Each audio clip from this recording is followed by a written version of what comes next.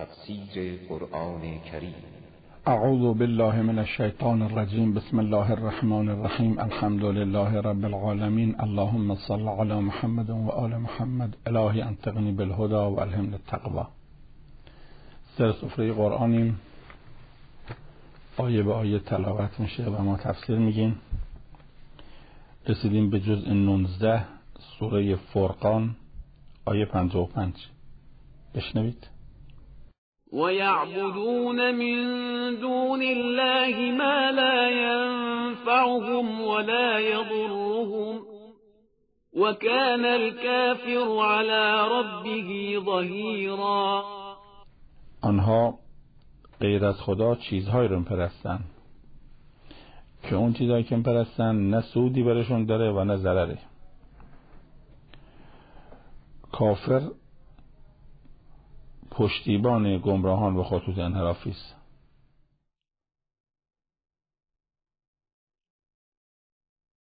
خب این آیه محکوم می‌کنه مشرکین را که شما میگه عقل ندارید.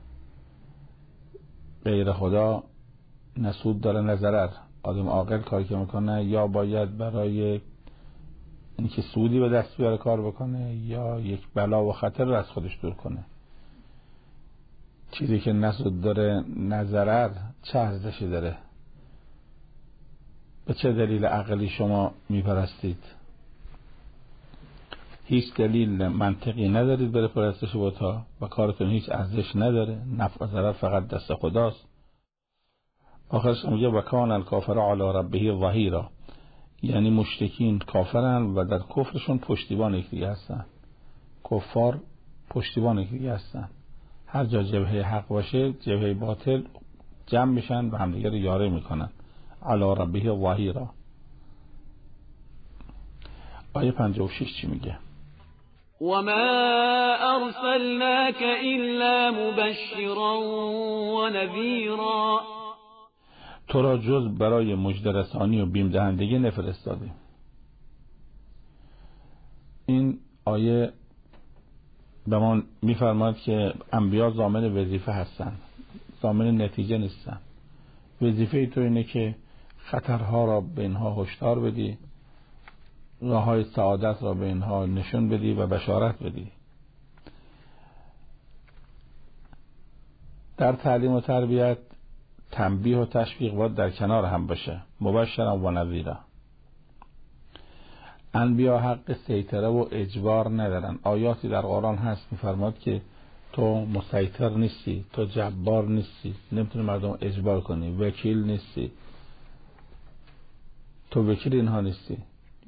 که اینها حتما با زور با اکراه به هر قیبت شده ایمان برین تو حق رو بگو.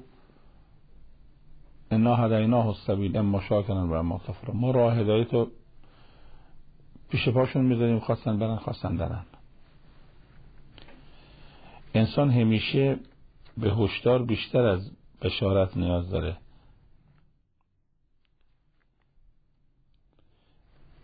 کلمه نظیر در سیغه مبالغه اومده. نگفته ما ارسلنا که الا مبشرم و منذرا. نگفتم منذر گفتن نظیر قالب نظیر منذر این هشدار دهنده نظیر یعنی یک هشدار دهنده که بسیار هشدار میده جدی هشدار میده. و یعنی قالب باید تو باشه. و ما ارسلنا که الا مبشرم و منذرا.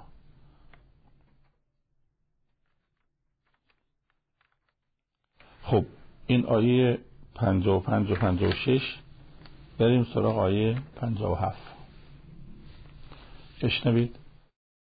قل ما أسألكم عليه من أجر إلا من شاء أن يتخذ إلى ربه سبيلا. بگو از شما هیچ مزدی نمی‌خوام در مقابل رسالتم و نبوتم مگه اینکه کسی که بخواهد به سوی پروردگارش راهی در پیش بگیره. مزد من که راه خدا رو بره بید مزد من اینه که راه خدا رو بره بید همین. حالا درباره این که راه خدا رو بروید من یه نکته بگم. هر جا دو تا الا بود یا دروغه یا دو تا الا یکیه. مثلا من بگم هیچ وقت درس نمی‌خونم الا تابستون. بعد بگم هیچ وقت درس نمی‌خونم الا زمستون. خب دروغه. هیچی نمی‌خورم الا برنج بعد بگم هیچی نمی‌خورم الا نان. دروغه. یا اینکه دو تا الا باید یکی باشه. مثل چی؟ مثل بگم هیچی نمی‌خورم جز مایع. بعد بگم هیچی نمی‌خورم جز آب. این دروغ نیست. چون آب و مایع یکیه.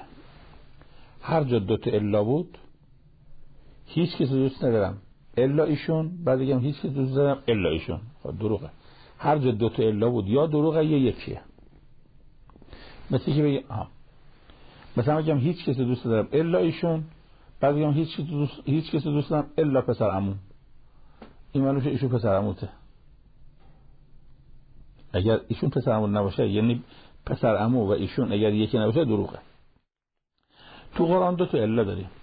یه جا به پیغمبر میگه بگو مزدی نمی‌خوام الا الموده اهل بیت منو دوست داشته باشه یه جا میگه مزدی نمی‌خوام الا اینکه راه خدا رو برید دو تا الا تو قرآنه. مزد رسالت من هیچی نیست. الا مودت مزد رسالت من هیچی نیست. الا راه خدا. معلوم میشه خدا که دروغ نمیگه. معلوم میشه راه خدا جز راه مودت اهل بیت نیست. دو تا یکیه. تکرار می‌کنم. هر جا دو تا الا بود یا دروغه یا یکیه. در قرآن دو تا الا پیدا کردیم. یه بار پیغمبر میگه از طرف خدا معمول میشه میگه قل به مردم بگو. هیچی مزد نمی‌خوام الا مودت. اهل بیت من دوست داشته باشه آیه دیگه میگه به مردم بگو هیچی مزد نمی‌خوام الا اینکه راه خدا رو برم یا با بگیم پیغمبر خدا نعوذ بالله نعوذ بالله دروغ گفتن یا با بگیم راه خدا جز از راه مودت نمیشه. یعنی غیر از اهل بیت راهی دیگه به سمت خدا نیست. که خواسته باشه دینش از های دیگه بگیره غیر امام صادقمون باقر غیر علی و فاطمه صلوات الله علیهم راه راه خدا نیست. حال فرقه های مسلمون برن ببینن با این دو تا آیه چه کنن. استدلال من خیلی روشن ازا یعنی در یک دقیقه دیگه از این روونتر نمیشه استدلال که احدی هم نمی‌تونه استدلال جواب بده. از تکرار کنم.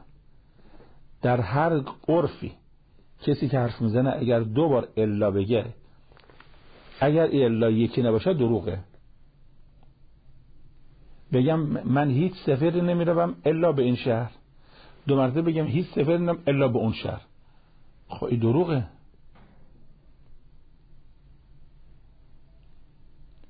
الا باید یکی باشه. تو قرآن دو تا الا داریم. یا خدا دروغ گفته پناه بر خدا نعوذ بالله.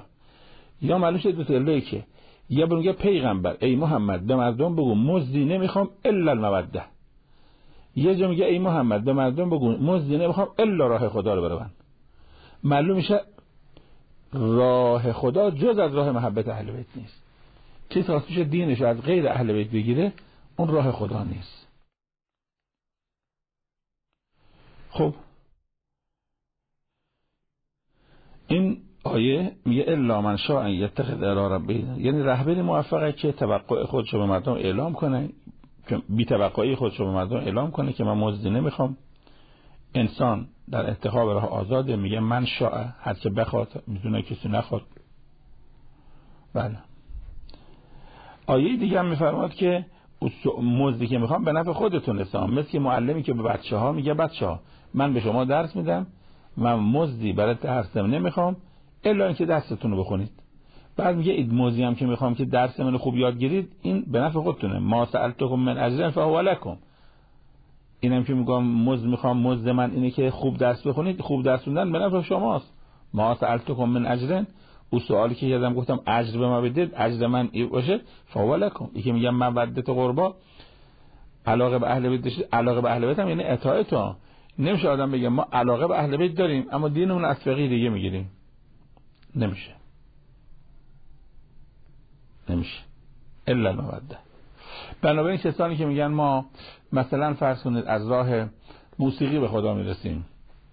اهل بیت از راه موسیقی به خدا می‌رسن. از راه خانقا به خدا می‌رسیم. خیلی خوب. حالا اهل بیت ما تو مسجد می‌رفتن تو خانقا؟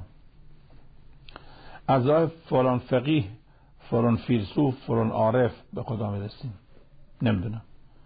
راه خود رسیدن به خدا یک راه بیشتر نداره و اون راه مودت اهل بیته که معنی مودت هم اطاعته.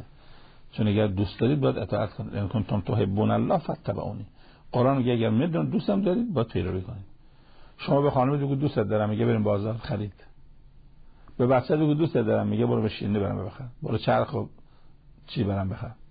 اگه میگی دوست دارم ولی گوش وقت نمیدم با خدا میطوره مگه میشه ما به خدا بگیم خدا دوست دارم اما نماز نمی‌خونم. تو اگه من دوستم داری چرا با من حرف نمی‌زنی؟ شما به عروس بگو دوست دارم. ولی تلفن رو قطع کنی. عروس چه حالی پیدا می‌کنه پشت تلفن؟ کسی که دوستش داری باید بهش حرف بزنی ما اگر خدا رو دوست داریم باید بهش حرف بزنیم. خب این سه آیه تمام. خدای تو به حق محمد و آل محمد روز به روز بر علم و معرفت ما بیافزا بر عمل و اخلاص و عمق و برکت کار ما بیافزا السلام علیکم و رحمت الله.